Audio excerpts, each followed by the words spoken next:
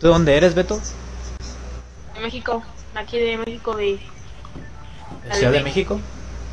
y- ¡Hala! Otro chilanguito. ¿Y por qué no hablas como chilango, así como el Hadrid? Está Eh, morro, güey. chiquita, de chiquita hablaba como el chilango, pero sin quitó. ¿A poco sí, güey, se quita eso?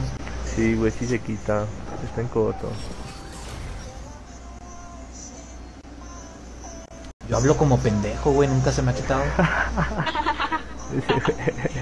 Ahorita te chingaste. Yo te chingué yo, güey.